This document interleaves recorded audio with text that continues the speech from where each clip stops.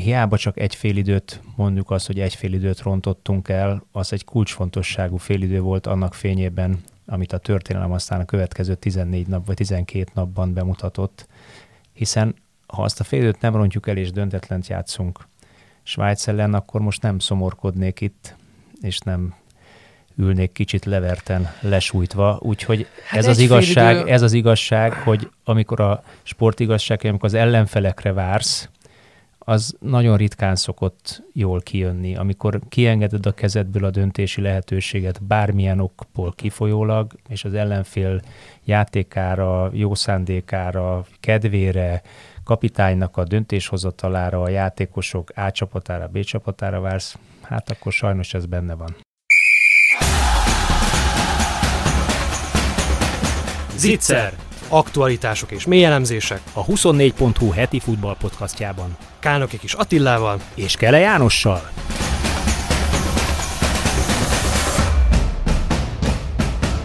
Hát sziasztok, nehéz szívvel kezdjük ezt a mai meccs kibeszélő podcastot. Eldőlt, hogy Magyarország akárhány századékra is mérték itt az esélyeseket az Opta és egyéb elemző cégek matematikusai és statisztikusai nem jutott be az Európa-bajnokság legjobb 16 csapata közé. Ma is volt még esély, egészen az utolsó pillanatig volt még esély, de végül Portugália nem tudta legyőzni Georgiát, sőt kikapott tőle, így aztán a másik mérkőzésen hiába teljesítették a kötelezőt a törökök Csehországgal szemben nem végeztünk a legjobb négy csoport harmadik hely egyikén sem, az ötödik legjobb csoport harmadik lett Magyarország, egyedül Horvátországot tudta maga mögött tartani ezen a mini tabellán, úgyhogy számunkra Csobot Kevin századik percben szerzett gólya marad ennek az Európa-bajnokságnak az utolsó emléke. Nézzük a jó oldalát, győzelemmel zártunk, pozitív élménnyel zártunk, góllal zártunk, igen, aztán arról lehet lamentálni, hogy mennyire Ez, ez klasszikusan jó tudod a... az, amikor, hogy, hogy mi a jobb másodiknak lenni, vagy harmadiknak lenni.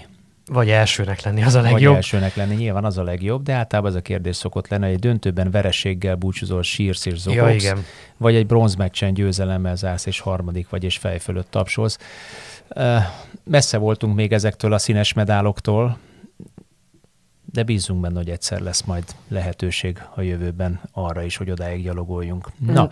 Jó, hát beszélni fogunk ezekről Igen. a mérkőzésekről részletesebben is Borbé Imrével, az XFB Analytics adatelemzőjével. Szia! Sziasztok, köszönöm a meghívást. Szia, köszönöm, hogy újra itt vagy velünk. Együtt néztük itt ezt az utolsó mérkőzést fölváltva, tehát kapcsolgattunk a török cseh és a portugál-georgiai mérkőzés között. Aztán mégis ott rak, és a másik fél már a portugál mérkőzés néztük, és próbáltunk, meg hát nagyon is szurkoltunk azért, hogy ez a portugál csapat villancson valamit, amiből az egész mérkőzésen nem lett semmi. Most vitatkozhatnánk azon, hogy Ronaldo esete 11-es volt-e vagy sem. A másik mérkőzésen meg ugye a csetörök találkozón Kovács István megcselekedte, amit megkövetelt a haza, és kihájtott egy csajátékost a mérkőzés legelején Barakot, szóval ezen biztosan nem múlt, mert nyilván nem ezen múlt, és félig viccesen mondom ezt.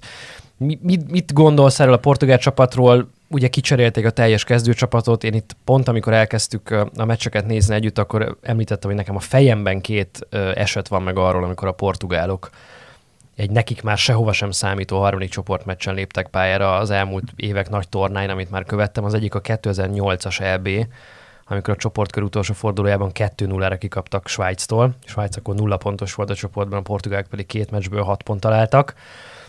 Illetve a legutóbbi világbajnokság, amikor Dél-Korea ellen egy ugyanilyen teljes B-csapatos megoldással végül 2-1-re kikaptak. Úgyhogy ebből a szempontból volt bennem félsz, meg félelem. De hát azért ez nagyon, ez nagyon rosszul nézett ki. Ez, ez számukra dühítően rosszul nézett ki a portugálok oldaláról, nem? Hát szerintem konkrétan botrány volt, amit a portugálok leműveltek. Most tényleg mindent félretéve értem én, hogy B csapat, és tényleg felforgatták a kezdőt. Nyilvánvalóan Mártin úgy volt, hogy pihenteti a kulcsjátékosokat, de hát, hát ez ezzel együtt, egy, ezzel együtt is szerintem rettenetesen rosszul nézett ki. Gyakorlatilag ilyen úvalakban adogatták körbe, ugye beszéltük itt egymás között is, hogy 5-3-2-be védekeztek főként a grúzok, aztán a vége fele már, amikor úgy adta, akkor azért 6-3-1 is lett belőle, abszolút, abszolút feküdt nekik ez a második szándékból, kontrázgatnak, elmennek néhányszor. Hát 22 lövést alakítottak ki a portugálok, és ebből sikerült 1,88-as XG-t összehozni, ami alapján ugye két gólt azért nagyjából kellett volna, hogy szerezzenek, de ezek nagyon alacsony minőségű távoli lövések voltak, és hát Mamárdasvili pedig ismét eléggé jól védett mondjuk. Én annyit hozzátennék adatelemzőként, hogy az 1,88-as XG-re 0,53-as PSXG-t vagy XGOT-t hoztak össze a portugálok, ami azt jelenti, hogy pocsékul fejezték be a lövéseiket, vagy másképpen fogalmazva nagyon-nagyon távolról próbálkoztak, tehát egy igazán kidolgozott minőségi helyzetet nem tudtak létrehozni vagy kialakítani. Igen, egyébként lehet, hogy az lenne a jó arány, hogyha a mérkőzés elemzését vesszük most figyelembe, hogy a georgiaiakról beszélünk többet, mert egyébként amellett, hogy nekünk rendkívül fájdalmas volt ezt ma látni, azért el kell ismerni, hogy ez egy nem semmi csapat ezen az EB-n. Tehát én azt gondolom, hogy, és talán mondtam is közben, még néztük a meccset, hogy engem nagyon emlékeztet a 2016-os magyar csapatra. Tehát látható minden játékos úgy van itt, hogy ez élete vagy alapfelállásban, játék elképzelésben is nagyon hasonlót nyújtanak. Hulla alázattal, védekezés, igen, hát van egy, világ, van egy világklasszisuk ebben talán jobbak, Igen. mint az akkori magyar válogatott, ugye Karackeli a személyében, aki ma le is csapott, de hát ott van a Zsorzs Mikautadze, aki most már több gólt lőtt, mint ezen az ebén, mint szülőhazája. Ugye ő Franciaországban született, a franciák kettő darab góllal abszolválták a csoportkört, egy 11-es meg egy öngól. Ő háromnál jár és üldözi a góllövőlista élén az öngól nevű játékos, bár még tőle azért eléggé messze van. De hogyha Mamárdásvilire, ugye a Valencia kapusára kitérünk, ő neki ugye idén a az XG-hez viszonyítva a legtöbb megakadályozott gólja volt az La Liga szezonban, 9,3-mal védte túl az XG-ét. Az eb is ő vezeti ezt a listát, most hárommal van a, a, az XG alapján kapható góljai alatt. Lehet, hogy följebb fog bukni ő a Valenciából. Meccsenként 8 védés átlagban ezen a tornán, ugye közte egy EB rekord 11 az előző fordulóból. Hát, hogy szokták ezt mondani itt a Pesti Flaszteren, hogy fog, mint a festék a gyerek. Szóval Szóval így azért meg van támasztva ez a csapat hátulról, elég rendesen. Igen, nekem, nekem minden azon gondolkodom, egyrészt iszonyatosan el vagyok keseredve, tehát uh, már a meccs alatt is uh, vagdostam az ereimet, és uh, alapvetően három futballigasságot tudtam megfogalmazni magamban, főképp egyébként a portugál meccs adta az elsőt, hogy ezek a nagy válogatottak egy csoportkör harmadik meccsén biztos továbbítás esetén egyrészt semmit se kockáztatnak, fúra lecserélik általában a kezdőjüket, harmadrészt van, amelyik ezt megoldja, mert Spanyolország is mondjuk egy erős B csapattal jött ki, de Portugália, mint ahogy Jarek mondtad is, történelmileg sem képes ezeket megoldani, mint hogyha ott valahogy a, a második sor kedvetlen lenne egy kicsikét folyamatosan. A másik nagy igazság az a tegnapi naphoz fűződik, a keddi naphoz, hogy azért ez az angol válogatott gyalázat. Ugye mind a két válogatott, a portugál és az angol válogatott is e, nekünk kulcsfontosságú lett volna, hogy jól játszon.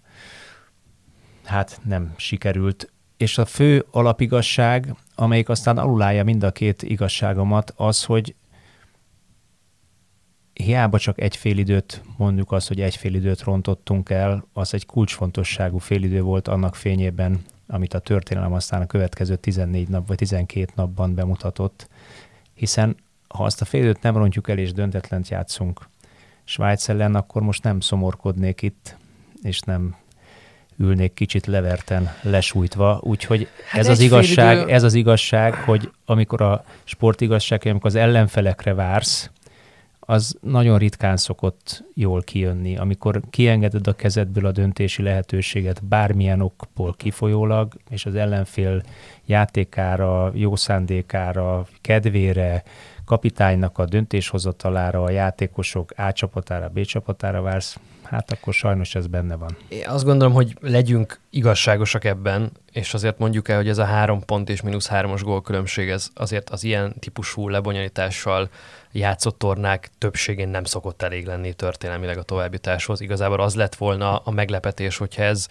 hogyha ez elég lesz, és igazából az volt az anomália, hogy itt az elmúlt két napban egészen magas százalékokat mondtunk a, a valószínűségekre, amikről persze mindig elmondtuk, hogy ezek valószínűségek, tehát ez semmilyen modell nem tudja kezelni a Southgate faktort, Hát meg azt sem, hogy B csapatot küld fel a pályára, Meg azt sem, hogy B csapatot küld Ugye, fel. Az ilyen statisztika azt nézi, hogy Roberto Martinezzel 12 meccs óta nyeretlen volt ez a pont. Hát 12 tétmeccsből 12-t nyertek, nyertek meg és eddig. kettő gólt kaptak, igaz? A selejtezőkön kettő gólt és, kaptak. És 36-ot lőttek, igen. igen. igen. Most meg kaptak ugyanúgy kettőt egy meccsen, egy tetál, totálisan kilátástalan játékat. Tehát ezt szerintem statisztikailag nem lehet uh, vizionálni semmiféle Persze. Persze. Uh, meg, módon. Meg, meg bocsánat, tehát hogy tényleg azt, azt, azt mindenképpen szerintem figyelembe kell itt venni, amit már említettünk, hogy pihentette, rotálta a kezdőd, hogy, hogy ez a portugál együttes ilyen összeállításban hányszor szerepelt, azt nem tudom, megmondom őszintén, de, de azban biztos vagyok, hogy ez így nem volt túl olajozott a csapatjáték szempontjából, és az nagyon látszódott, hogy tényleg össze-vissza körbe passzolgattak. Próbáltak a szélen mondanám egyez egyezni, de igazából én nem láttam ennek túl sok értelmét, távolról lőttek. Meg azt tegyük hozzá nagyon gyorsan, hogy itt szerintem a, a magyar búcsú mögötti talán legfájdalmasabb ilyen érzelmi vetület az tényleg az, hogy így változtak ezek a százalékok az elmúlt napokban, és az angol mérkőzés napján reggel úgy keltünk fel, hogy igen, ilyen 85-86 százalékos esélyt adtak a továbbjutásra. Sikerült ugye ebbe Southgate-nek belerondítania, és akkor utána meg ez a, ez a, ez a, néhány, ez a két meccs, ez, ez így alakult, szóval szerintem ez miatt az érzelmi hullámzás miatt nehéz Igen. ezt megemésztenünk, mert hogyha ha ez egy stagnáló ö, valószínűség lett volna, akkor, akkor kevésbé esünk szerintem ekkorát, így ez nagyon rosszul esik valójában. Igen, ezt, erre akartam kiukadni az előbb, hogy most persze mindenki onnan néz, hogy micsoda pehünk van, hogy ekkora valószínűség sem jött De be. mondtam el az alapigazságot, amit anulálja az összes többit. Hogy Tehát másokra várni sosem jó? Egyrészt meg magunk, magunk rontottuk el az elején. Nyilván ez az, az egy félidőnyi játékkal, amit nyilván mi is elemeztünk, mások is elemeztek, Márko Rossi is elmondta róla a saját maga meglátásait, és vannak különböző különböző plegykák is a, a futball iparágban, amelyek bizonyos, hát hogy fogalmazzak. Óvatosan. Igen.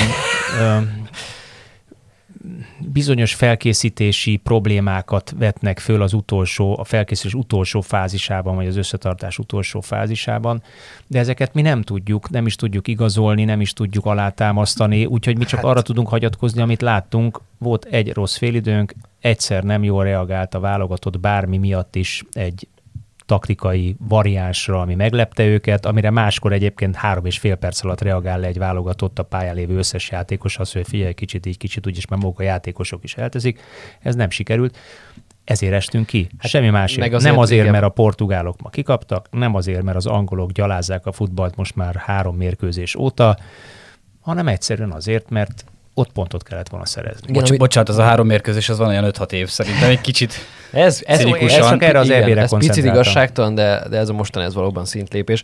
Egyébként amit mondasz, és erről majd lehet, hogy beszélünk bővebben, mert ez tényleg egy olyan típusú információ, vagy egy olyan típusú híresztelés, plegyka, nem tudom, erre talán ennél még erősebb szót nem használnék, ami egyfél nagyon érdekes, másrészt, tehát érdemes utána menni, másrészt nagyon sok dolog igazolja vissza abból, amit látunk. Tehát itt azért metrikák mutatják meg, hogy a magyar csapat futás intenzitás, vagy az intenzív sprintek számában a mezőny végéhez tartozott. A szemünk mutatta meg, hogy Svájcán egy fél időn keresztül, meg egy kétharmad mérkőzésen keresztül voltak úton azok a játékosok, akik, akik egyébként nem. korábban nem csináltak ilyeneket. Azért az, hogy két játékos is úgy sérül meg a felkészülés alatt, hogy nem lehet benevezni mérkőzésre, mert nem épül föl, hogy Szobosztai Dominik végig sérülten játszik az egész Európa bajnokságon, és ez, ezek mindegyike, ha én jól tudom, izomsérülés. De nyilván ez majd valószínűleg a stábon belül is egy alaposabb elemzésnek a tárgya lesz, és nem akarom most erre rávetíteni az egészet, meg hogy egyébként most persze a pechet látjuk ebben, de hát sokáig meg nagyon sok eredmény nekünk nagyon kedvezően alakult. Ezt az előző adásban talán végigmondtuk a 95. perces Albán szerb gól, Zakkányi gólja 98. percben.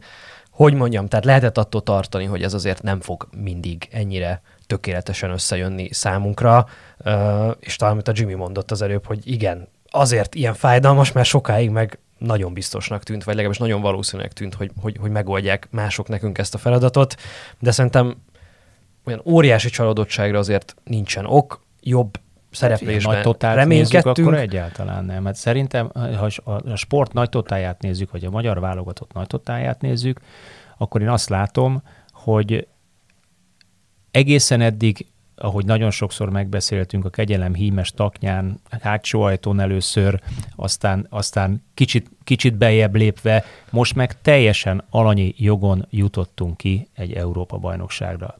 Ilyen emberemlékezet óta nem volt. Ezt én nagyon-nagyon megbecsülöm, ez egy nagyon nagy értéknek tartom, egy olyan értéknek tartom, ahonnan bárhogy is alakult, bármiért is alakult, bármilyen eredményen ez a három mérkőzés, ezt meg kell becsülni, mert erről a polcról lehet egyébként tovább lépni és gondolkozni egy, egy VB selejtezőre. Leszűrni a tanulságot, a sport erről szól. Van egy eredmény, leszűröd a tanulságokat, alszol ágyat, azt mész tovább. Nem kell ezzel többet foglalkozni, vagy többet gondolkozni. Abszolút, szerintem ezt mindenképp tartsuk észben, és szerintem fontos, hogy a nyilvánosságban, akik megszólalnak, vagy beszélnek erről a témáról, sokan lesznek, sokan voltak eddig is, ezt a típusú arányérzéket valahogy erőltessék magukra. Miközben persze sok mindent lehet árnyalni, tehát a szerbek szereplését látjuk ezen az EB-n, ugye velük voltunk egy sejtező csoportban, azért az ő értéküket, vagy a csapatnak a, az erejét szépen beáraszta ez a torna egy olyan csoportba, akit egyébként, amit egyébként mindenki szeretne jótékonyan elfelejteni, hogy valaha létezett ez az Anglia, Dánia, Szlovénia, Szerbia csoportbeosztás bármilyen világversenyen. Nehéz lesz. Na mindegy, erről nyilván hosszan fogunk még mi is beszélni, meg mások is. Most szerintem egy picit még a grúzokról azért emlékezzünk meg. Ugye Mamár, Mamárdasvili, Mikautadze, Kvarackeria már ö, fölmerült itt. Én Kocsorásvilit emelném még ki, a középső középpályásukat, aki eddig 93%-os pontossággal passzol, ö, vagy passzolt portugálok ellen. Ö, 12 12 hosszú indítása volt pontos, két helyzetet kialakított, ötből négy csele jó volt, nyert 18 párharcot, csak hogy ilyen apró cseprő mutatókat említsek, miközben az ember úgy nem ismeri őt a, a top futballból, és tele vannak ilyen játékosokkal. Kakabadze a, a jobb hátvédaként az első mérkőzésen ö, csodálkoztunk rá, hogy micsoda futszáros tribliket itt a jobb oldalon, amit aztán egyébként utána minden másik mérkőzésen megvillantott, hogy milyen kivételes technikai tudása van. Ö, egy üde színfoltja ez a, ez a csapat ennek a tornának, és azt gondolom, hogy egy, egy futball Európa bajnokságnak ez mindig az egyik értéke, hogy olyan csapatokat, olyan játékosokat láthatunk, akiket egyébként, akiket re egyébként talán nem figyelünk föl évad közben a, a nemzetközi top futballban, mert annyi minden történik, és annyi más nagy csapatot kell nézzünk, vagy nézzünk általában. De ez a torna rávilágít arra, hogy hát igenis folyik Európa más részein is minőségi munka. Ugye ne felejtsük, hogy ebbe a grúz keretbe 16-an érkeztek a Dinamo Tbilisi akadémiájáról. Szóval ott azért, mint hogyha lenne valamilyen iparági standard. Tbilisi, kétszeres orosz bajnok, kétszeres orosz A harmadik legsikeresebb szovjet csapat így volt van, a szovjet van. érában. Ott, ott, ott tradicionálisan nagyon jó volt a futballoktatás, és mindig jó futball eredményeket értek el. És valószínűleg ezt a történelmi múltat ők nem, nem felették, hiszen azért van top csapatban játékosuk, nem egy, nem kettő, talán kicsit több is van, mint a miénkben, vagy közel, közel ugyanannyi. Tehát hát meg jó, jó egyensúlyban vannak. nem, nem tehát... írnám, le, vagy nem legyintenék semmiképpen sem erre a csapatra. Nem, nem. nem, hát igazából tényleg nagyon szép tündérmes, amit itt a grúzok már eddig is szerintem végrehajtottak az EB-n. Uh, szerintem nagyon nehéz amúgy egy, egy játékost kiemelni tényleg a, a kezdőből, vagy akár a keretből. Összességében nagyon-nagyon jó taktikával és meccstervel álltak fel. Szerintem mindegyik meccsen ugye a, a csehekkel megnyerhették volna az utolsó percben a, a, a meccset. Mamárdasvili kapcsán már említettük, szerintem még egyszer talán alá kell húzni, hogy összességében olyan a csapatvédekezés, hogy bár engednek elég sok lövést az ellenfeleknek, de ezeket nagyon rossz minőségű helyzetekre szorítják, vagy, vagy redukálják, és emiatt sokat lőnek az ellenfelek, de távolról így átlagosan alacsonyabb minőségű lövésekkel kell szembenézni, azokat pedig iszonyatosan jó hárítja egy igazi shotstopper, Mamárdásvili, aki nyilván bajnoki szezonjában is fantasztikus szezont produkált. Kvaráckiliát mindenképpen kiemelném erről a meccsről, erről, amiről most beszélgetünk, és nem csak azért, mert nagyon jól cselezett, progresszív labdavezetései voltak, és látszott, hogy, hogy gyakorlatilag lehetetlen volt tartani. Emlékezzünk csak vissza, volt olyan jelent, amikor négy-öt portugál játékos próbálta tőle elvenni a labdát, és olyan, olyan flickflackokkal, olyan kis finom testcselekkel szlalomozott át a portugálkon, hogy szinte lehetetlen volt megállítani. De amit én még ki szeretnék emelni, ez a védő munkája, öt labdaszerzéssel zárta a meccset, és a Földön 11 pár harcából 8-at sikeresen vívott meg, ez 73%-os arány, Mindezeket csak azért mondom, mert egy kreatív játékos, aki a védelmek feltörésért, és jelen esetben az egy elsős nagyon fontos gólnak a megszerzésért felelt, de minden mellett még ilyen védőmunkát is beletesz a csapatba, és kiveszi a részét, szóval szerintem ettől is olyan szép ez a grúz tündérmese.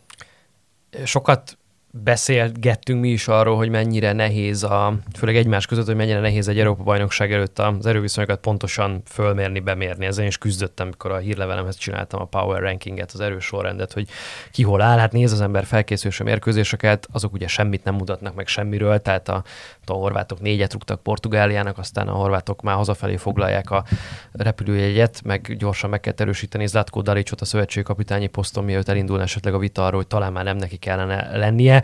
A portugálok meg ugye a csoportások voltak két meccs után, szóval ezekből nehéz azért messze menő következtetéseket levonni. A selejtezők meg ugye azért régen voltak, tehát itt eltelt egy év, játékosok karrierjében beállhat nagy változás ilyenkor, edzők világosodhatnak meg úgy, mint Murat Jakin, vagy rendezhetik a kapcsolatukat sztárjátékosokkal, esetleg leszállhatnak a földre vissza. Most csak a grúzok kapcsán jutott eszembe, hogy azok a skótok, akiket mi hazaküldtünk, és akik hát senkiben nem a futballromantikus énüket villantották meg az EB alatt mutatott játékukkal. Kilenc darab ponttal előzték meg ezt a grúz csapatot a selejtezőben. Ugye egy csoportban voltak, a grúzok végül a Nemzetek Ligájának köszönhetően jutottak ki pótselejtezőn erre a tornára. Ekközben a, skótoktól láttuk ezt a, hát hamisítatlan, nem tudom, konzervatív futball tagadást, vagy futball minimalizmust a, a pályán, ami, ami szokás szerint megvan náluk a nagy tornákon a meg úgy élték meg, hogy az életük esélye, és miközben ez egy jól szervezett, jól fölépített, védekezésben párharcerős csapat, és így tovább, a közben azért szépen minden csapat részben megvannak azok az emberei, akik hát itt életüket, vérüket adják a csapatért. Ugye Kasia a csapatnak a szellemi vezére a védelemben, tényleg egy remek interjú volt vele a tornelt a Guardianben, baromira érdemes elolvasni, egy elképesztő jó figura, és a pályán tényleg ő a abszolút szellemi vezér, ugye Kocsarásviléről beszéltünk a középpályán, Mika Utadze a csatár, Kvareckelia meg hát mindent is csinál, és egy igazi, igazi világsztár, és hát Willi Szányolt még emeljük ki, mint, mint edző a kispadon, aki, aki fantasztikusan összerakt őket. Mernek futballozni, bátrak, amikor előre kell menni, de egyébként meg egy taktikailag is jól szervezett csapat, ami az ő dolguk, azt megcsinálják egy ilyen tornán, úgyhogy szerintem minden dicséretet megérdemelnek. Ezt nem meg, Billy Szányol hol volt előtte edző egyébként? Mert ugye nem, volt nem beugró nagyon... edző a Bayernnél egy nagyon rövid ideig, Aha. és ugye a Bordóban volt több ligönös szezonja, az elején nem nézett ki rosszul, aztán meg nagyon rosszul nézett ki. És utána, és utána került ki. Georgiába. Bordót megelőzően pedig francia U21-es kapitány volt, ha minden igaz. Igen. Hm. Érdekes, Érdek, érdekes két... karrierugrás azért, hogy mondjuk egy, egy ligvánból elszalad az ember Grúzia válogatottjáig. Korát, korát tekintve is, ugye ő azért egy, egy relatív fiatal edző lehet, hogy még lehetett volna neki nagyobb klubkarrier is a pályafutásában, de hát ezek szerint ő másképp döntött, vagy az élet döntött másképp, mert adott neki egy olyan állatot, amivel élt, és most aztán ott valószínűleg Grúziában koronát kap. Az biztos. Meg, meg nem tudom mit kap. De szépen így fizimiskára is átszellemült így a a kaukázusi életérzést így árasztja igen, magából igen. ott a fehér atlétájában, egy kis, kis borostával, szakállal, tehát szerintem nagyon autentikus igen. Willi Szányol, kb. mint a Rangnick az osztrák padon, csak az egy másik kultúrás közeg. De beszéljünk egy nagyon röviden a csoport másik meccséről, ugye a csehek kikaptak a törököktől, az utolsó pillanatig üldözték a számukra továbbjutást jelentő gólt, miután ugye előbb emberhátrányba kerültek, aztán hátrányba kerültek Csálanoglu gójának köszönhetően, aztán még ki tudtak egyenlíteni Szócsek révén, és sokáig egy-egy volt az a találkozó, és a végén kitámadva kaptak még egy gólt, amivel elvesztették a meccset, meg kaptak még egy piros lapot már a lefújás után a, a csehek.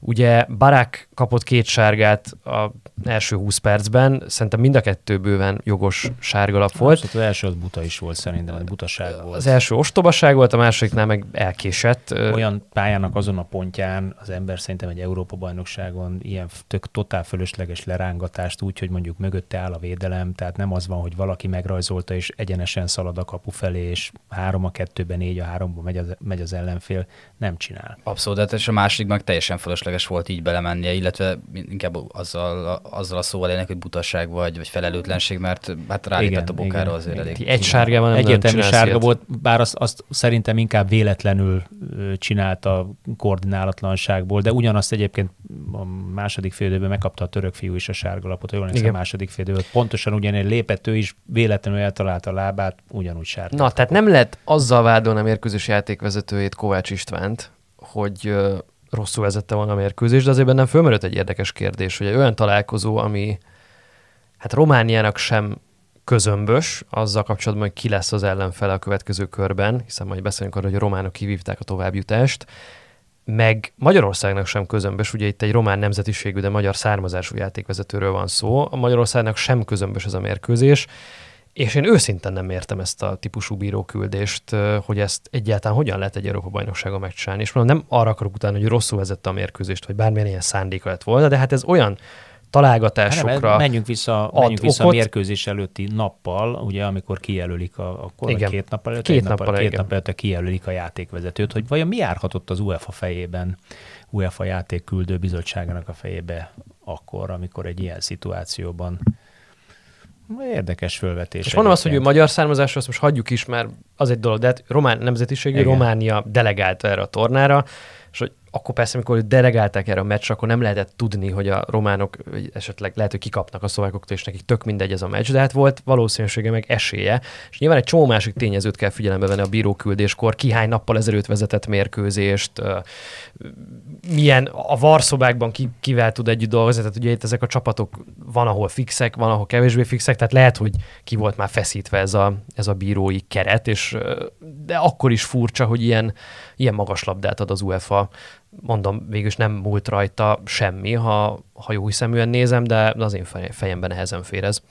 Hát ez nehéz mit hozzátenni, valóban furcsa, furcsa döntés, tényleg nem nagyon tudok ide igazából semmi különöset vagy semmi különösen ezt kiegészíteni számomra is teljesen értetetlen, mert ez valahogy szerintem értelmesebben meg lehetett volna oldani, hogy, hogy ne legyen benne.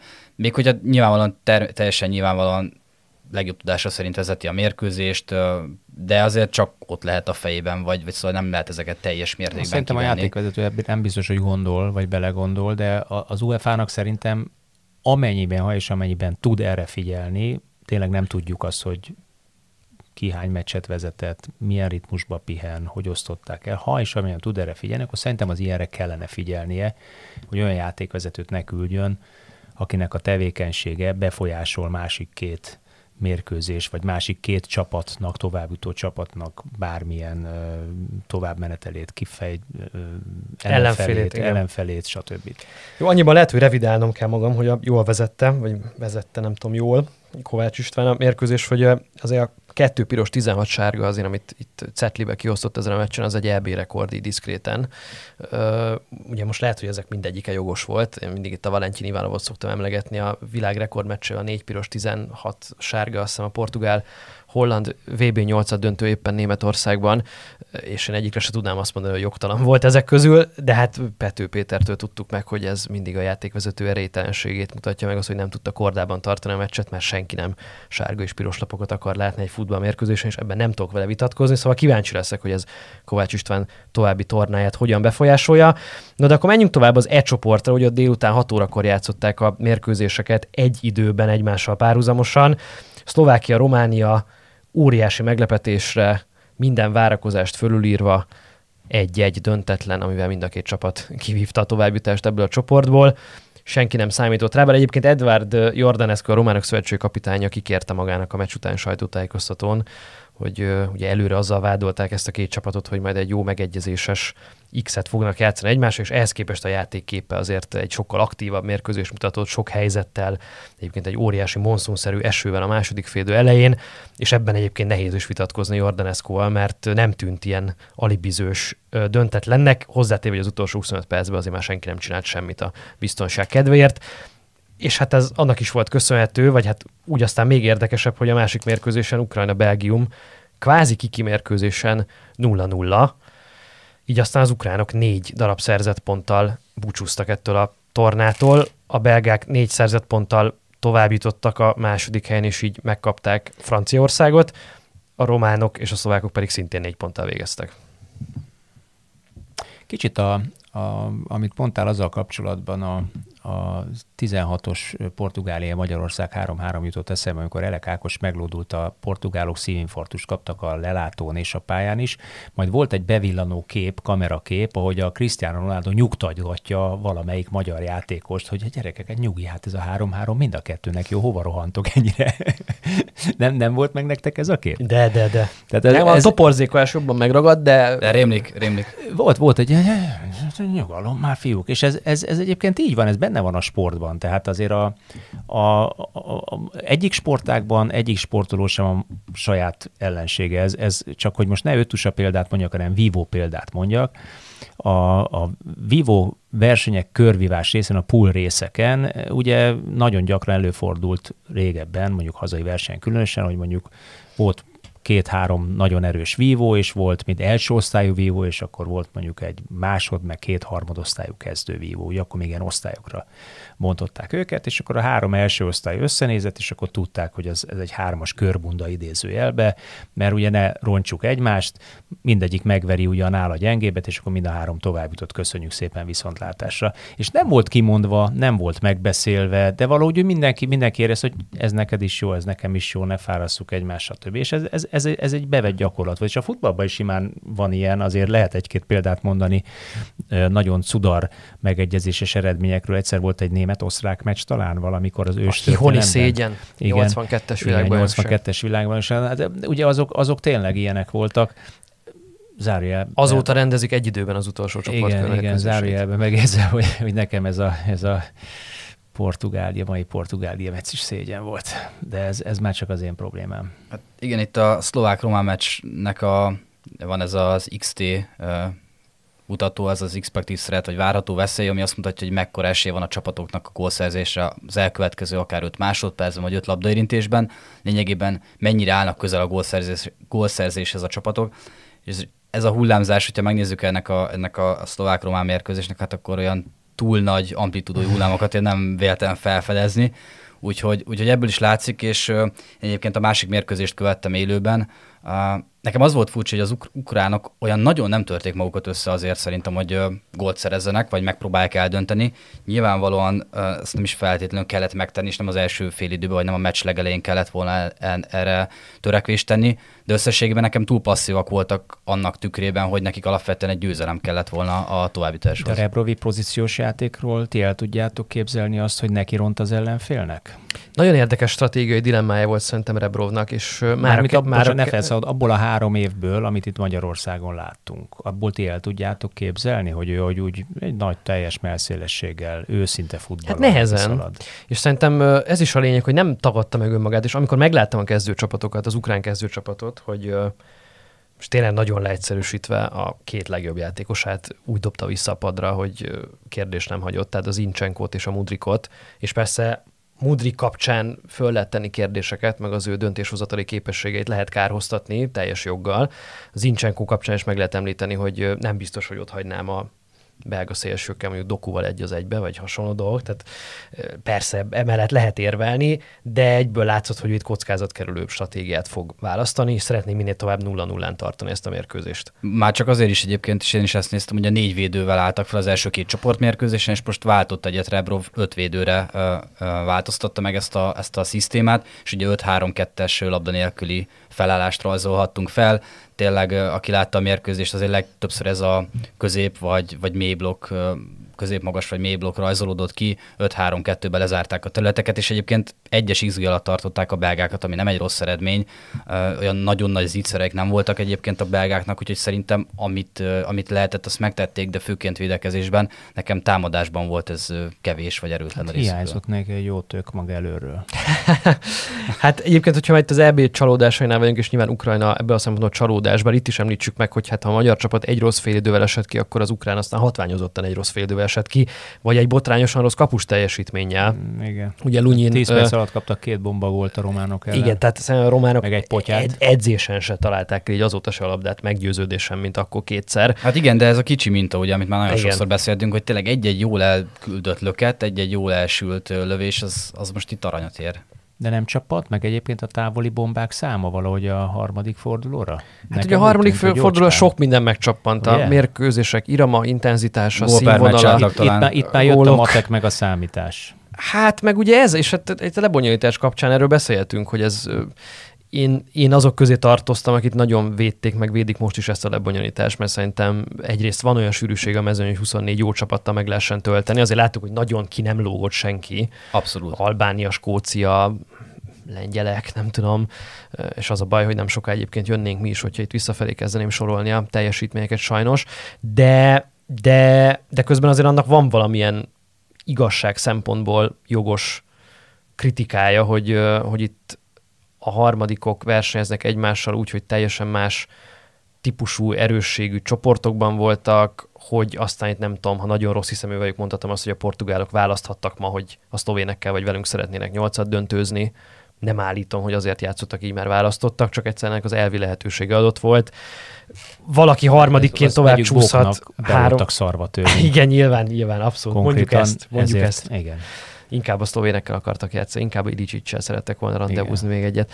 Na, de hogy, hogy az ukránok négy ponttal kiesnek, és három pontos ö, ö, egyébként tovább juthattak volna, ö, szóval nem biztos, hogy ez a leg sportszerűbb lebonyolítás, amit el tudok képzelni egy tornán, de hát ez ugye igazából tudott volt mindenkinek, tehát nem akarom kárhoztatni emiatt, vagy nem akarok senkit kárhoztatni de, de emiatt. van még egyébként? Hogy miért hmm. lehetne még? Szinte minden lapját, labdajátékban így, a... így bonyolítják a tornát. Szóval Michael Coxnál olvastam, hogy miért csak a csoport harmadikokat hasonlítják össze ilyenkor. Tehát ja, a legtöbb pontot szerző aha, nem tovább jutott még csapat. egy kicsit cizelláltabban. az ukránok például tovább jutottak volna igen, most. Igen. Egyébként tényleg szerintem összességében talán ami emellett szólt nyilván az, hogy az utolsó napig szinte majdnem minden kis túlzásra, most nyilván sarkítok, de mindegyik csapatnak volt esélye a továbbításra, vagy majdnem mindegyiknek. Ez mindenképpen szerintem... Igen, szegények. Igen, vannak kivételek nyilván is, hogy de hogy tényleg összességben az izgalmi faktor szerintem ezzel nagyon nagy mértékben meg, megnövelték. Azt persze teljesen jogos felvetéssel negyedikek, akkor miért nem rúghatnak itt labdába, hogyha volt egy negyedik, aki jobban teljesített, mint más csoport harmadikok, akkor talán őket se szabadna kizárni, de szerintem összességében egy nagyon szórakoztató és izgalmas elbét láthatunk eddig. Való igaz, hogy itt a harmadik körre kicsit így a színvonal beesett, előtérbe került a pragmatizmus, a kockázat minimalizálás, a, a, a kicsit a, a, az, hogy pihentetnek már, ugye a nagyobb csapatok nem mennek ugye azzal az elánnal bele a mérkőzésekbe, és nyilván voltak olyan válogatottak, sajnos a magyar is ezek közé tartozik, amelyek ezt megszenvedték, de, de szerintem hát, kicsit futni kellett az eredmény után. Mi futottunk is becsülettel, és nagyon jól hajráztunk. Igen, amit a, a rendezés vagy a szervezés, lebonyolítás kapcsán mindig elmondunk, hogy az első két körben, hogyha vereséget szenvedsz, nincs itt a világ vége, és ez ösztönzi meg bátorítja a kockázatvállaló futballt. Ez ugye a harmadik körben, amikor ugye tényleg minden, a lengyeleken kívül az összes csapatnak volt még szansz a továbbjutásra, hirtelen a semmiből az egekbe emeli a tétet, mert egy meccs az élet hirtelen mindenkinek, és ez döbbenetesen rányomta a bélyegét ezekre a mérkőzésekre minden egyes meccsre, hiszen mindenki érdekelt volt ezekben a csatározásokban. Jó, a spanyol és a portugál tuti csoport elsőként ők, nem. Ők meg azért, hogy kivel valószínűség szerint hát mi igen. lesz a csoport másik eredmény, kivel játszunk, majd melyik ágra kerülünk. Azért ott is voltak érdekességek. Igen, majd beszéljünk az ágakról mindenképp, mert ugye kialakultak a nyolcad döntős párosítások, és elég érdekesen festenek az ágak, de semmiképp nem akarom, hogy Jimmyben maradjon a belgákkal kapcsolatos véleménye, ami lehet, hogy elég karcos lesz. Hát a belgákkal kapcsolatban szerintem azt el kell mondani, hogy ugye itt az aranygenerációnak a, az utolsó dobásáról lehetett hallani, vagy olvasni a, v, a itt az EB kezdet előtt, bár ez az, az aranygenerációnak már csak szerintem a részeit tartalmazza. Azt akartam kérdezni, hogy ez az aranygeneráció itt van velünk a szobában? Vagy ez vicc, nem, nem rád értem, csak hogy én ezek a mindig felhúztam a szemöldök, hogy milyen De Bruyne van, Lukaku, meg Viccel a kispadon, meg Fertongen, akinek már nem kéne úgy a pálya lenni. Vagy... Igen, hogyha Kurtál védene, vagy, vagy akkor, akkor még őt is legyen. Már csak a reszelék. Hát nagy, nagyjából igen. Én amik, ami, ami, amit láttam eddig a belga válogatottól, az szerintem édeskevés, és uh, majd nyilván kitérünk arra, hogy itt a franciákkal azért nem lesz, nem lesz könnyű dolguk, de, de nekem összességében sterilnek, ötlettelennek és uh, kicsit tanástalannak tűnik a, a, a belga válogatott.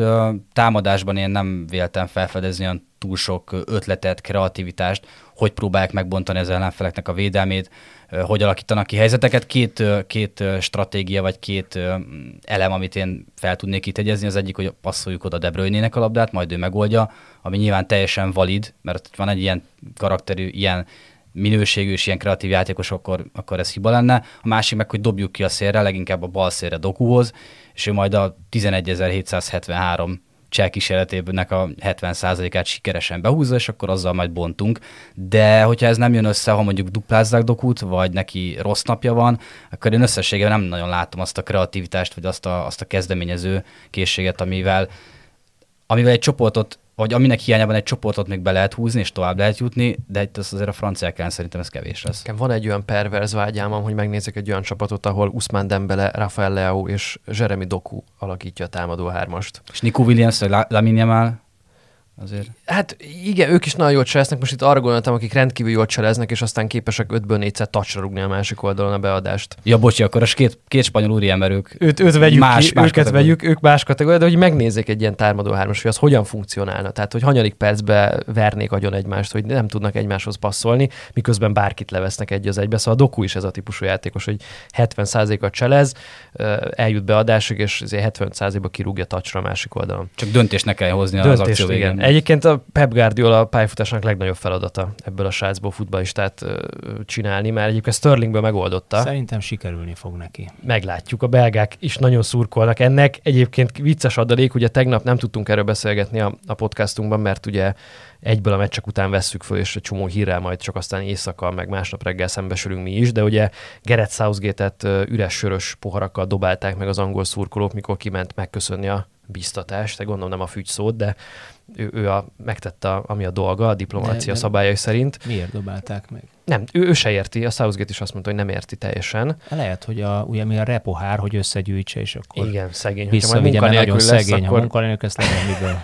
Na most a, de, a belgáknál is előfordult ez, hogy a De Bruyne kivezette a csapatot, hogy akkor tapsolják meg a szurkolókat, és gondolom azt feltételezte, hogy vice versa fog ez történni. Nem, elkezdték őket fütyülni, mint az őrült, és akkor egy ilyen néhány másodperc a De Bruyne intett, hogy akkor szerint ebből elég, és menjünk be az öltözőbe.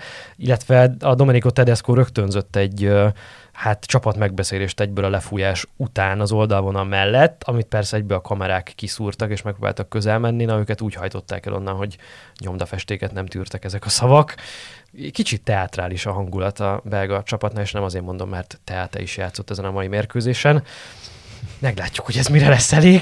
Egyébként engem teljesen fölbosszantott, hogy a 93. percben egy szöglet elvégzésekor a De Bruyne üvöltözött a Bakayokóval, hogy menjen oda hozzá, hogy kicsiben elvégezhessék és eljátszhassák egyébként a futball ipar legundorítóbb húzását a szöglet zászlónál ö, védem a labdát, és várom, hogy fölrúgjanak előadást, és feltettem magamon azt a kérdést, hogy ezek nem tudják, hogy Dösampékkal kell játszani a következő körbe, hogy ennyire nem szeretnének, még meg sem próbálják megnyerni ezt a mérkőzést valahogy.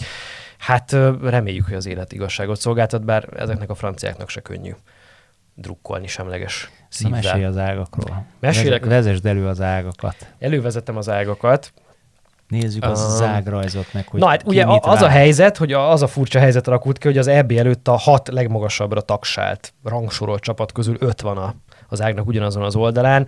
A spanyolok, a németek, a portugálok, a franciák és a belgák ott tobzódnak az egyik oldalon, a másik ágon pedig vannak a hollandok, az osztrákok, az angolok, az olaszok, a svájciak, a szlovákok, meg a törökök még mellettük, meg a románok. Szóval, amit itt most az előbb felsoroltam, azok között egyik csapat EB döntős lesz. Szóval vagy az angolok és az olaszok, mindenki döntse, hogy ez Vagy mennyire... az osztrákok. Esetleg a hollandok. Vagy a, Hollandok. Igen, vagy a hollandok, vagy Tudom, az nem- nem hangzik túl jól, Vagy az osztrákok, törökök, románok, szlovákok, svájciak. Ebből lehet választani. Mit szólunk ehhez? Már én láttam ilyen mémeket, hogy Southgate Masterclass valójában, hogy ő igazából csak erre az ágra szeretett volna kerülni. Annak idején, amikor a portugálok megnyerték azt az Európa-bajnokságot, akkor ugyanilyen könnyebb ágra kerültek, hogyha jól emlékszem, és Horvát, lengyel, Velsz, így mentek be a igen, döntőben. Igen, az, az, az, az nekik sikerült. Hát itt is adott azért egy-két csapatnak.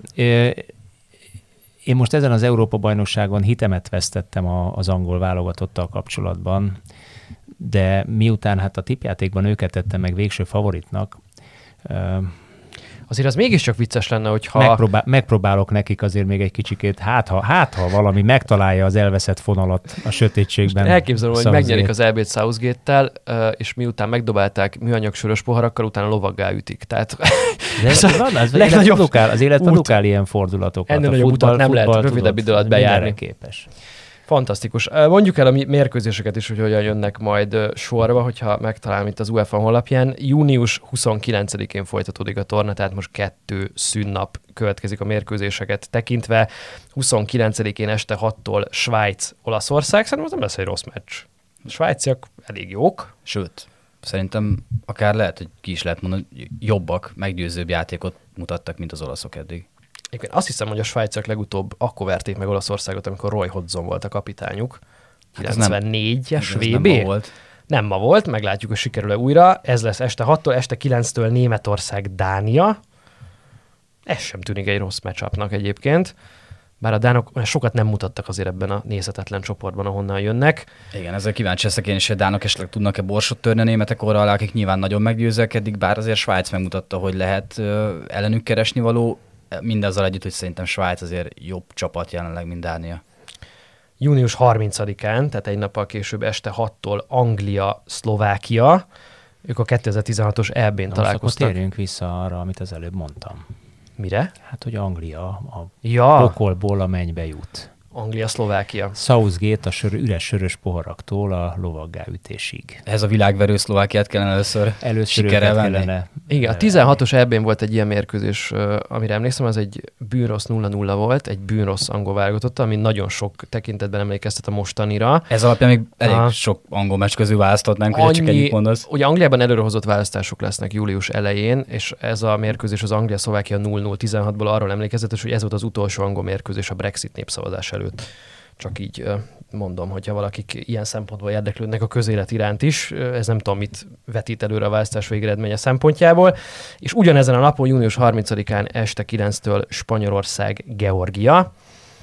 Hát biztos lesz területük kontrázni a grúzoknak. Másban nem tudom, hogy bízhatnak é, avagy sem. Én nagyon kíváncsi leszek arra a mérkőzésre. Amúgy. No, hogy képes, képes lesz egy ilyen rendkívül fegyelmezett és önfeláldozó védekezés, egy ilyen kapus teljesítmény, amit ők egyébként testközelből ismernek, ugye a spanyol válogatott, megismételni ugyanazt a látványos játékot, mint amit az olaszok ellen játszott, láttak, láttunk például a, a spanyoloktól. Kíváncsi leszek, hogy, hogy az a, az a kreativitás, ami a két szélen megvan, gyorsaság, az hogy hálózza le egyrészt labda nélküli játékban Grúzia, és hogy meg tudják-e oldani valahogy azt, amit a portugálok nagyon-nagyon csak kerestek.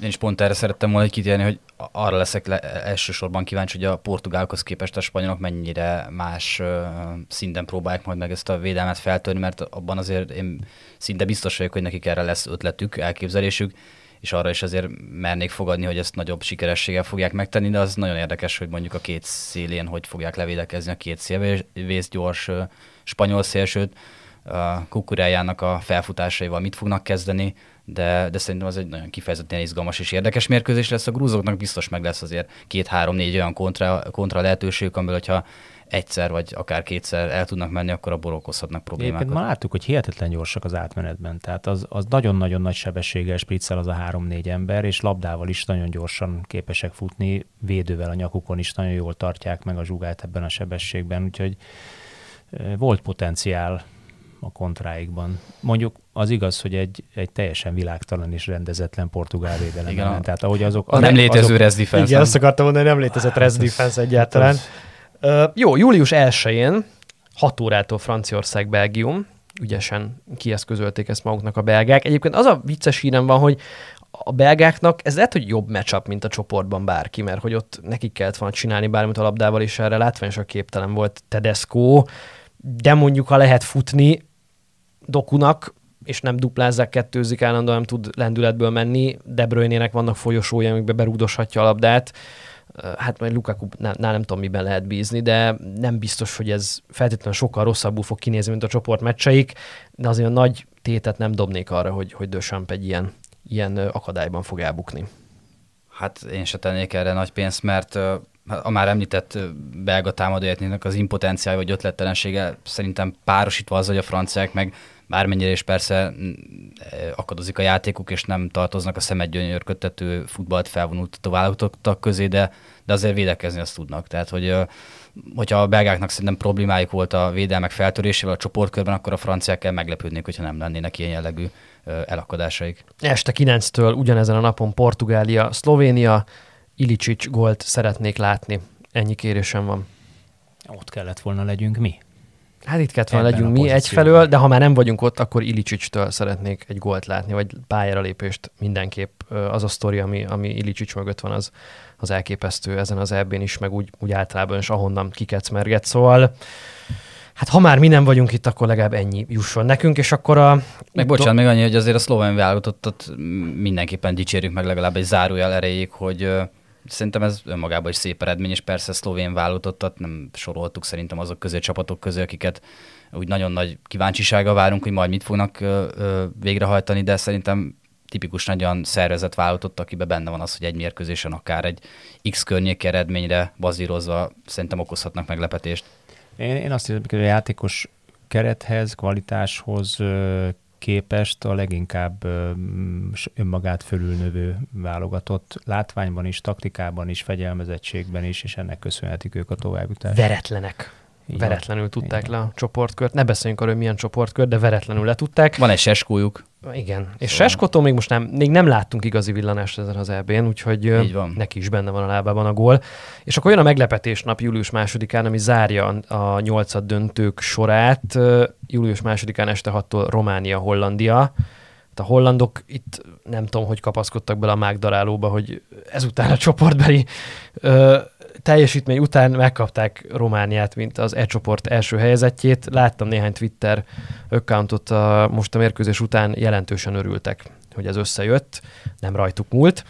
Volt Aztán... egyszer egy norvég válogatott, amelyik jelentősen örült, és csapkodták így, a kérdéket. Aztán pofán csapta össz őket Kleinherzer Lacika. Igen, szóval itt lehet, hogy a románokat sokan és lesajnálják, de ugye, a hát Priskin élete gólját. Élete gólját csavarta onnan, a gyönyörű volt. Én emlékszem, hogy üvöltöttem a tévébe, hogy miért lövöd el. Hát azért, mert bement. Jó, a, és ugye ugyanez nap este kilenckor Ausztria-Törökország, lesz hangulat. Hát lesz hangulat. Törökök hazai pályán. Lényegében. És szerintem nagyon, nagyon izgalmas tényleg az, amit a Ragnik féle osztrák vállalatot eddig, eddig produkált. Én nekik azért titkon, vagy hát nem is titkon, de szurkolok, mert szerintem öröm nézni azt a, azt a filozófiát, meg azt, a, azt hogy hithű ahhoz, amit val, azt, azt minden mérkőzésre kirakja, kiteszi, és, és nem változtat az elképzelésén, hozzáállásán, megy az intenzív pressing, magas letámadás, szerezzünk minél több labdát, ütközésig vigyük a letámadásokat, legyünk párharcerősek, és, és azért helyzeteket is bőven alakítanak ki, tehát ezt, ezt, mindezt nem úgy mondom, hogy akkor nulla helyzetük van, és csak védekezés, hanem pont az, hogy ezzel a támadásokat Meg az ellenfélnek is alakítanak ki helyzeteket, tehát azért a védelem az itt Igen, ez ilyen kétérű, kétérű kard. Én, én arra vagyok nagyon kíváncsi, hogy tulajdonképpen a, a hát ebből a 24-es mezőnyben szerintem az egyetlen klubfutballt játszó válogatott meddig képes ezzel a felfogással eljutni. Én azt gondolom, hogy a törököket megeszik egyébként. Hát nem régiben volt egy vacsorára. találkozójuk, az 6-1-re végződött. Meg, meg bocsánat azokat a törököket, akiknek vannak védekezési problémáik. Bizony.